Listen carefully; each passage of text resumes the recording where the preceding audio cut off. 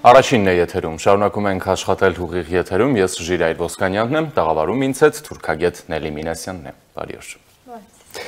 Տիկին Մինասյան, հայ-թուրքական հարաբերություններ կարգավորման գործընթաց։ Սկսենք նրանից։ Արդյոք արձանագրում ենք, որ հայ-թուրքական այսօրվա, այսպես ասենք, դիալոգը ընթանում է Մոսկվայի մոդերատորությամբ։ Ուրեմն մի փոքր, այսպես նախապատմությամբ գամ հարցի հետ կապված։ Երբ որ սկսվեց նախաձեռնվեց այս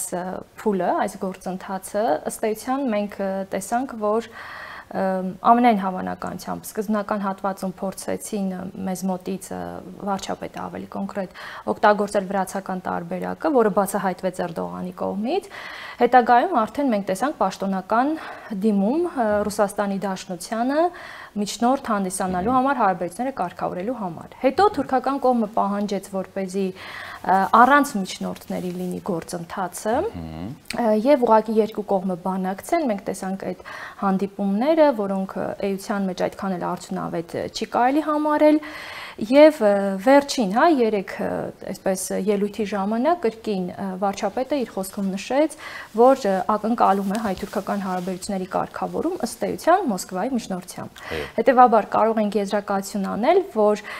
ուղակի բանակցել են Հայաստանը եւ Թուրքիան, նրանց ներկայացուցիչները, բայց միշտ մոդերատորներ եղել են կամ մոդերատոր եղել է, որը որ այսպես կուլիսների հետևում ինչ որ չափով մասնակցել է գործընթացներին, երևացել է ինչ որ հատվածում, ինչ որ մի հատվածում չի երևացել եւ դա եղել է Ռուսաստանի Դաշնությունը։ Իդեպ ասեմ, ես միշտ կարծել եմ, որ տարբեր առումներով մենք միայնակ հատկապես այսօրվա ստեղծված աշխարհական իրավիճակում հազիվ թե կարողանանք Թուրքիայի հետ բանակցել, մանավանդ որ Թուրքիան առաջ է քաշում մի շարք էլի նախապայմաններ, մասնավորապես Ադրբեջանի հետ կապված։ Հետևաբար մեզ այս դիալոգում, այս գործընթացում պետք է անպայման ավելի ուրեմն այնպիսի մի երկրի աջակցություն, որը եւս ունի ռազմավարական շահեր մեր շահերի հետ համընկնող։ Իսկ այդ դեպք այս դեպքում դա ակնհայտորեն Ռուսաստանի դաշնությունն է։ Ահա։ Ռուսաստանի շահերը համընկնում են մեր շահերի հետ։ Այո հետաքրքիր դիտարկում արեցիք։ Ես ասեմ, իհարկե մի քանի առումներով կարելի է ներկայացնել, բայց առաջին հերթին խոսքը վերաբերում է Հարավկովկասյան տարածաշրջանին, որը Ռուսաստանի համար հանդիսանում է կենսական ազդեցության գոտի։ Դա անգամ ամրագրված է իրենց ռազմավարական փաստաթղթերում։ Իսկ հարավային Կովկասում, եթե այսօրվա իրավիճակով ենք մենք նայում, հա, Ռուսաստանը զգալի ազդեցության, այսպես դիրքերի նվազում է տեղի ունեցել հարավային Կովկասյան տարածաշրջանում, օրինակ Վրաստանում ըստ էության ունի ռազմական ներկայություն իդեմս Աբխազիա, Օսեթիա, որտեղ որոնք գտնվում են Ռուսաստանի ստեյցիան հովան ներքո կա ռազմա բազաներ այստեղ, բայց վրացական կառավարությունը ստեյցիան արևմտյան քաղաքականություն է իրականացնում, այսինքն որոշ հատվածով այս հատվածը կորցրել է։ Ադրբեջանը այսօր ամբողջությամբ գտնվում է Թուրքիայի ազդեցության տակ, Թուրքիան է կարողացել այստեղ հաստատել ինչ որ ազդեցություն եւ Ռուսաստանը ստեցյան այստեղ եւս կիսում է եւ եթե մենք դիտենք Արցախը, ապա այնտեղ տեղակայված խաղաղապահ զորախումբը, այսինքն Ռուսաստանը ինչ որ թելեր է պահում իր ձեռքում եւ Հայաստանը, որտեղ գտնվում է ռուսական ռազմաբազան եւ ռուսական կողմի համար այսինքն հարավային Կովկասի, հարավկովկասյան տարածաշրջանում իշխանության ազդեցության ավելի շուտ պահպանման հիմնական կենտրոնը մնացել է այստեղ։ Իսկ եթե մտածենք, որ նա այդպես հեշտությամբ կզիջի տարածաշրջանը եւ այլն, իմ կարծիքով սա ուղղակի միֆ է, որտեվ այս պահին ճիշտ է մենք տեսնում ենք շատ пассив քայլեր, երբեմն անհասկանալի քայլեր, որ ռուսական կողմը չի արձագանքում դրանց։ Իդեպ ասեմ, դա միայն մեր տարածաշրջանի հետ չի կապված, նաև այլ տարածաշրջանների հետ խորթային, հատկապես կենտրոնասիական տարածաշրջանում էլ նույն մոտեցումը կա, բայց ամեն դեպքում գործընթացներ են, որոնք որ ինչ-որ մի փուլում կբերեն ավելի ակտիվ գործերի։ Հետևաբար այս առումներով մեր շահերը համընկնում է Ռուսաստանի շահերի հետ։ Ահա Հա, հետաքրքիր դիտարկում էր այնուամենայնիվ, բայց ինչ էի ուզում ասել, ինչի մասին էր իմ հարցը, հա, առաջին հարցադրումը։ Մենք ունենք մի իրավիճակ, որ օրինակ Հայաստանի փորձագիտական դաշտում շատերը ընդཐུպ մերձ իշխանական ներկայացուցիչներ պնդում են, որ կամ գեներացնում են այն միտքը գաղափարը, հայ որ հայ-թուրքական հաշտեցումը կարող է հանգեցնել ռուսական ազդեցության թուլացմանը անգամ դիտարկում են, որ Թուրքիայի հետ հարաբերությունների կարգավորումը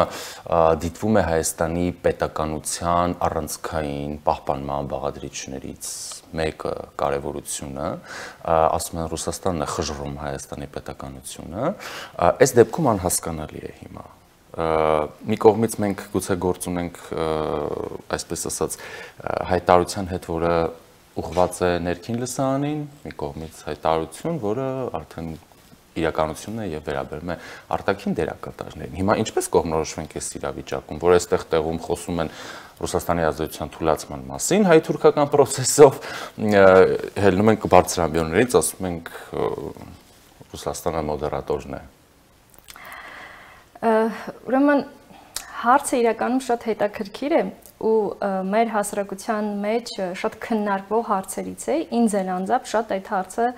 ուղղել են ես փորձեմ մի քանի այսպես հարթություններով հա պատասխանել հարցին որովհետև հարցի պատասխանը շատ բազմաշերտ է Ես արդեն ասացի Ռուսաստանի կենսական շահերի հետաքրքրությունների մասին։ Սա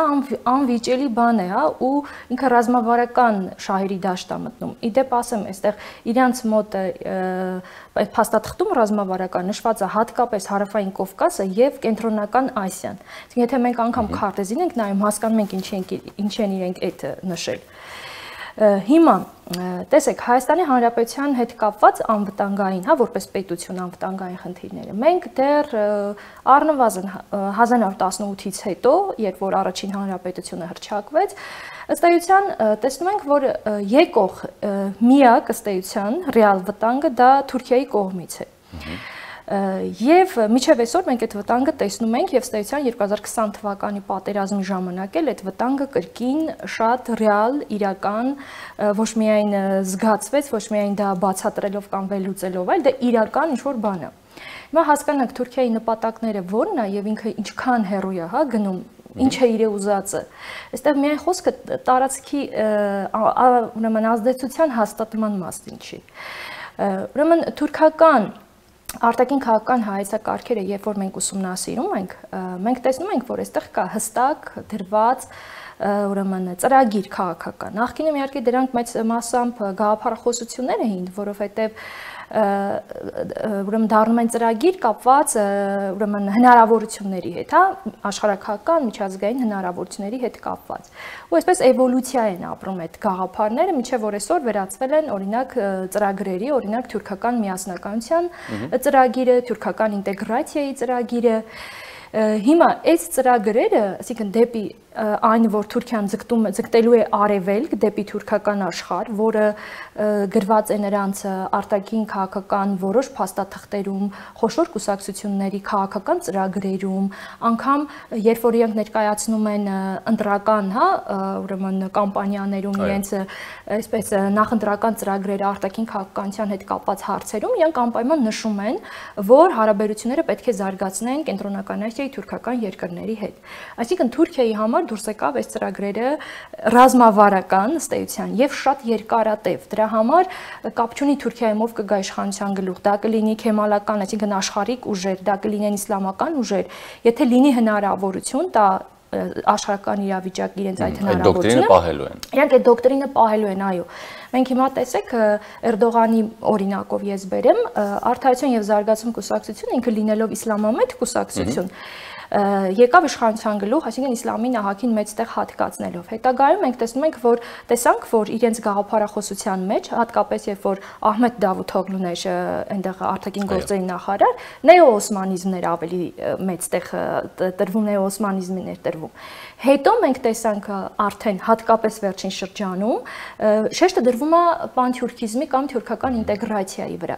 Այսինքն այս սրանք քաղաքական ծրագրեր են, որ իրանք ինչ որ առումներով այսպես սինթեզվել են, հա, դարձել են կարելի ասել արդեն տարբեր բաղադրիչներ նրանցից վերցվել են, այսպես ամբողջական ծրագրեր են ստեղծվել եւ դարձել են Թուրքիայի հերահար նպատակներից։ Այսինքն Թուրքիան քանի ունի հնարավորություններ ձգտելու է դեպի արևելք։ Հիմա Հայաստանը այդ ճանապարհին է գտնվում եւ հետեւաբար Հայաստանի նկատմամբ իրենք այդ քաղաքականությունը միշտ իրականացնելու են։ Այսինքն եթե մենք ասենք, որ Թուրքիայի հետ կնքեցինք խաղաղություն նո ավելի ճիշտ վերական հարաբերություններ հաստատեցին։ Եթե ուրեմն առիթը ստեղծվի ու Թուրքիան չի փորձելու այս տարածաշրջանում հաստատի իր ազդեցությունը, սա մեծագույն պատրանք է իհարկե սա ուրեմն ավելի կոշտ ուժի տեսանկյունից բայց ես կասեմ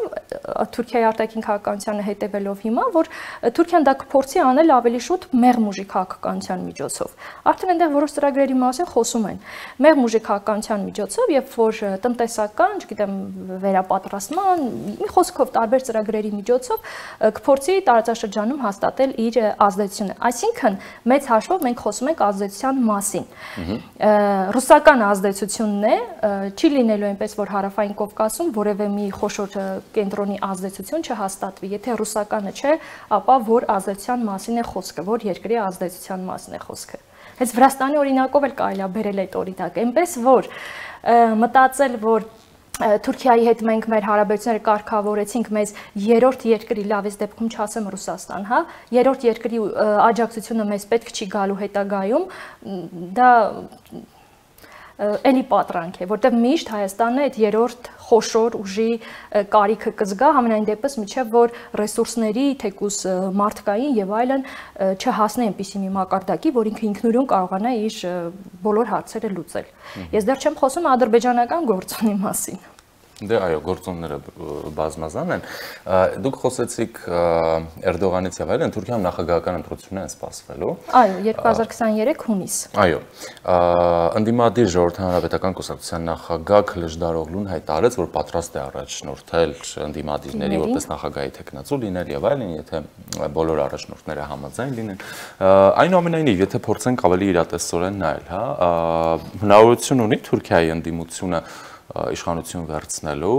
ներկայիս Էրդողանական ռեժիմի պայմաններում եւ արդյոք ռեժիմի փոփոխությունը մեզ համար դրական կլինի։ Ուրեմն երկրորդ հարցից սկսեմ։ Ես արդեն ասացի, որ կան ծրագրեր, որոնք անկախ այն հանգամանքից ինչ ռեժիմ կփոխվի, դա նաև մեր նկատմամբ, այդ ծրագրերը չեն փոխվելու։ Եթե իրենց հնարավորություններ տրվի ինչ որ մի բան իրականացնելու, իրենք դա իրականացնելու են։ Եթե այնպիսի մի աշխարհական իրավիճակը դասավորվի, որ Հայաստանի հետ ինչ որ չափով հարաբերությունների հաստատումը իրենց համար ավելի ձեռնտու վիճակ ստեղծի, իրենք կգնան դրան։ Բայց այստեղ այնքան խնդիրներ կան հայ-թուրքական հարաբերությունների մեջ, որ ես կարծում եմ, որ իրանք ամենա այն չնչին բաներից, հա, կսկսեն, որոնք մեր համար գուցե այդքան էլ կարևորություն չեն ներկայացնի։ Այսինքն ռեժիմի փոփոխությունը չի բերելու մեր նկատմամբ քաղաքականության փոփոխության սա մեկ երկրորդ Թուրքիայի ներքաղաքական իրավիճակի հետ կապված Նախ շատ վաղ է խոսելը, որտեվ բոլոր վերլուծական դաշտերը թե Թուրքիայում, թե Թուրքիայից դուրս ամբողջը ճիշտ է արդեն շատ քննարկում են, տարբեր բաներ են առաջ քաշում, հարցումները իդեպ շատ հետաքրքիր հարցումների, տարբեր ընդ որում ընկերությունների իրականացած հարցումները տարբեր արդյունքներ են ցույց տալիս, բայց կարող ենք ասել մի բան եզրակացնել, որ Էրդողանի շանսերը քչանում է, որովհետև այսօր արդեն ավելի քիչ տոկոսն է, հա, պատրաստվում, համենայն դեպս այդ հա, այսօրվա դրությամբ հարցումների արդյունքներն են ցույց տալիս Էրդողանի օգտին ձայն տալ։ Բայց այստեղ նշեմ, որ մի քանի հանգամանքներ կա։ Նախ Էրդողանը ինքը հմուտ քաղաքական գործիչ է եւ ես կարծում եմ, որ նա իր զինանոցում շատ բաներ է պահել ընտրությունների նախորյակին։ Քանի որ հիմնականում արևմուտքը այսպես ճնշում է ներքաղաքական, հա, իրավիճակով եւ ընդդիմությունն էլ գերազանցապես այսօր խոսում է ներքաղաքական խնդիրների հետ կապված։ Ես կարծում դրա համար Էրդողանը ավելի իր ուշադրությունը դարձրել, այսպես սևեռել է արտաքին քաղաքական խնդիրների վրա եւ արտաքին քաղաքականության դաշտում հնարավոր են այնպիսի զարգացումներ, այնպիսի գործընթացներ, որը որ նրան կբերի, ասենք, այդ պահին կարճատև ինչ որ էֆեկտ ու կապահովի նրա համար ձայներ։ Օրինակ ինչպիսի։ Օրինակ դա կարող է լինել Սիրիայում ինչ որ գործողություն, օրինակ դա կարող է լինել PKK-ի նկատմամբ որոշ գործողություններ, որոշ մարդկանց ձերբակալություններ, վերջապես Հունաստանի նկատմամբ որոշ քայլեր կարող են լինել։ Այսօր արդեն կոնկրետ խոսում են, թեև ես կարծում եմ, որ բանը ռազմական գործողությունների չի հասնի, համենայն դեպս, բայց կարող է լինել, որտեվ օրինակ Հունաստանից էլ կա այդպիսի դեպք բաներ, որ տեսակետներ, որ ըստ էության Ուկրաինայի տիպի ինչ որ իրավիճակի ստեղծում հնարավոր է ուրիշ տարածաշրջաններում ու մեկը նշում են այդ տարածաշրջանը, Արևելյան Միջերկրածովյան տարածաշրջանը։ Այսինքն հնարավոր է ինչ որ զարգացումներ լինեն այս այս առումով արտաքին քաղաքական, ամենայն դեպս այսօր Էրդողանը ավելի արտաքին քաղաքական գծով է գնում։ տեսեք մի կողմից Թուրքիան կամ Չավուշօղլուն արտգործնախարարը նամակ հղեց միջազգային հանրությանը բողոքելով Հունաստանից, Հունաստանի արտգործնախարարը հայտարարեց, որ մերժում են նեոսմանյան ահաբեկչությունը, Միացյալ Նահանգների պետդեպը հայտարարեց, որ Հունաստանի ինքնիշխանությունը իր կղզիների նկատմամբ վիճարկման ենթակա չէ։ Չէ ֆրանսիական կողմը հայտարարություն արեց, որ հնարավոր զարգացումների էսկալացիաների դեպքում բնականաբար սատարելու են Հունաստանին, Կիպրոսին։ Այնուամենայնիվ, ինչից սկսվեց այս լարումը Հունաստանի եւ Թուրքիայի միջև եւ միջև որ կարող է գնալ ըստ ձեզ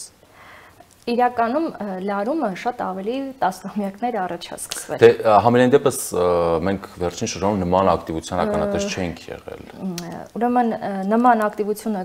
կապված են հանգամանքի հետ, որ կղզիների հարակից տարածքներում հայտնաբերվել է գազի պաշարներ։ Որոնք Թուրքիան գոնե ցանկանում է մի քանիսը պահել իր վերահսկողության տակ։ Դրա հետ է կապված։ Այսինքն դրանք ամբողջությամբ վերահսկվում են Հունաստանի կողմից։ Ըստ էության, այո, հունական ափերին են ավելի մոտ եւ երկրորդ կարևորագույն խնդիրն այն է, որ նախկինում միջազգային բոլոր համաձայնագրերով այդ կղզիները չպետք է ռազմականացվեին, բայց այդ կղզիները այսօր ռազմականացված են։ Բարձ է։ Այսինքն այնուամենայնիվ ռազմական արկածախնդրությունը բացառված չէ այս դեպքում։ Գիտեք, դատելով վերջին այս գործընթացներից գուցե ինչ որ բաներ լինեն, որտեղ նախկինում էլ այդպես եղել են, որ կրակել են, չգիտեմ, ինչ որ փորձեր են արել, մեկը մյուսի ջրերն ա մտել եւ այլն, դա կհասնի հետագայում ինչ որ բախման թե չի հասնի, մի քիչ այս պահին դժվար է ասել, ավելի շուտ կարելի ասել, որ ես կարծում եմ, որ Թուրքիան ամեն դեպքում չի գնա, էլի այդ արկածախնդրության, ինչքան էլ որ Էրդողանը բարձր ամբիոններից հայտարարի, որ Հունաստանը ՆԱՏՕ-ի համար արժեք չունի Թուրքիայով ապայմանավորված ՆԱՏՕ-ի գոյությունը, դա դե բոլորը հասկանում են, որ այդպես չի։ Նաև, այսպես ասենք, թուրքական դիրքորոշումը ուկրաինական ճգնաժամի շուրջ վերջին օրերին բավականին արդեն ընդգծված ռետորաբանություն կա, եթե սկզբնական շրջանում Հանկարան փորձում էր իրեն դիրքավորել ավելի դիվանագիտական, հա, ավելի կոռեկտ կամ ավելի միջնորդական դերակատարում իրականացնի եւ այլն, այդ պատճառով որևէ կողմին որևէ բան այսպես ասած չէր ասում։ Օրինակ Էրդողանը խոսում է եվրոպական հնացած ինչ որ վատ զենքերի մասին, որոնք արևմուտքը տալիս է Ուկրաինային, հայտարարում է, որ արևմուտքը լավ չի ճանաչում Ռուսաստանին, այո, եւ ի վերջո լուրջ խնդիրների առաջ է կանգնելու նման բաներ, ինչով է պայմանավորված է ռետորաբանության փոփոխությունը եւ ավելի այսպես ասենք ռուսական պոչը պահելը ես ավելի շատ կասեի, որ ինքը ռուսական պոչը չի պահում, այլ իր իր նկատմամբ փորձում է ինչ-որ դիվիդենդներ, հա, շահել։ Այդ արտաքին քաղաքական գործոնները, որ ես ասում եմ, օգտագործում, այստեղ էլ բարձ երևում է եւ փորձում է ընդհանրապես նախ տեսնենք թե ինքը որտեղ ասում է դա բոլոր ինքը ուրեմն 3 օրյա չէ պաշտոնական այցով գտնվում էր Բալկաններում ուրեմն Բոսնիա, Հերցեգովինա, Սերբիա Եվ ինքը այս ամբողջը ասում է այն հատվածներում դրանով փորձելով առաջինը բարձրացնել իր հեղինակությունը որպես միջնորդի, որ կարող է արևմուտքի եւ Ռուսաստանի միջև ինչ որ հարաբերություններ կարգավորի, օրինակ քանի որ հացահատիկային այդ գործարքը ստացվեց, սա թուրքերին շատ մեծ էսպես ոնց որ Էրդողանը իր հաշվին մեծ բան համարեց եւ կարծում եմ որ ուրիշ հարցերում էր կստացվի, մասնավորապես այսօր ատոմակայանի հետ կապված խնդիրներն է, որտեղ էլ ինքը փորձում է այնպես անել, որ Թուրքիայի միջնորդությամբ ինչ որ գործընթացներ ուրեմն տեղի ունենան։ Այսինքն դրանք կարելի է նաև պոպուլիստական, հա, ինչ որ համակարգով հայտարարությունների շարքում դիտարկել, որովհետև ակնհայտ է, որ Թուրքիան արևմուտյան դաշինքի անդամ է եւ արևմուտքն էլ ունի մի շարք լծակներ, ես կասեի բազմաթիվ լուրջ լծակներ Թուրքիայի վրա ազդելու համար։ Իսկ այդտեղ ուղղակի ինքը Եվրոպայի հետ կապված, տեսեք, հետաքրքիր ուրեմն դիտարկում անեմ, ինքը մի կողմից Եվրոպային այո ասեց արևմուտքին, որ դուք լավ չեք հասկանում ռուսների հետ չգիտեմ, չկարելի այդպես, մենակ ռուսները չեն տուժում, դուք եք տուժելու, բայց մյուս կողմից իրանք շատ ուրախացել են, որտեվ այսպիսի տեղեկություն տարածվեց, որ քանի որ ձմեռը շատ թանկ է լինելու Եվրոպայում, տարբեր մարտիկ, հատկապես թոշակառուները մեծ թվով արդեն զբաղեցրել են, հա, թուրքական մի շարք ուրեմն տուրիստական քաղաքներում հյուրանոցները եւ ինքը նշեց, որ իրենք ֆանտաստիկ եկամուտ են ունենալու ձմռան ամիսներին, այն դեպքում, երբ որ ձմռան ամիսներին այդ ոլորտը ուղակի մեռած էր։ Այսինքն տեսեք մի կողմից Ռուսաստանի հետ է փորձում խաղալ, մյուս կողմից արևմուտքի հետ այդ այդ մի բան էլի երկու աթորի նստելու գաղա բանն է, քաղաքականությունն է, որ առայժմ հաջողվում է։ Դե այո, առայժմ։ Բացի այդ նշեմ, որ ինքը հանգույց է դարձել իրականում։ Նույն Եվրոպան ինքը, տեսեք, Ռուսաստանի հետ սանկցիաներ ուղիղ առևտուր չի կատարում, բայց նույն եվրոպական ընկերություններ, ծառայություններ Թուրքիայի միջոցով շարունակում են Ռուսաստանում գործնեություն ծավալելը։ Այսինքն ինքը այդ բոլորը տեսնում է եւ այդ բոլորն նկատի նկատի ունի ասելուց։ Շնորհակալ եմ զրույցի համար։ Հարստացնում են Թուրքիային։ Այո, դե դա աշխատանքի արդյունք է։ Այնպես չէ, որ իրենք ձեռքերը ցալած նստել են։ Դա տասնամյակների աշխատանքի արդյունք է, որը ցույց է տվել այսօր իր արդյունքը։ Շնորհակալ եմ։ Շնորհակալ։